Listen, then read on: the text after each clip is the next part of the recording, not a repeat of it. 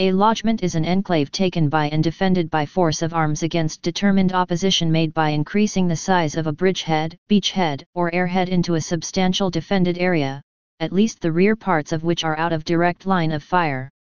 An example is Operation Overlord, the establishment of a large-scale lodgment in Normandy during World War II. Please subscribe and thanks for watching.